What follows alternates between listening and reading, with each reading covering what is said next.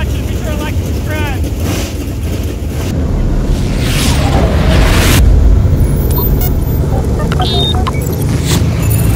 Honesty at its best. It's Speedway car cams or nothing.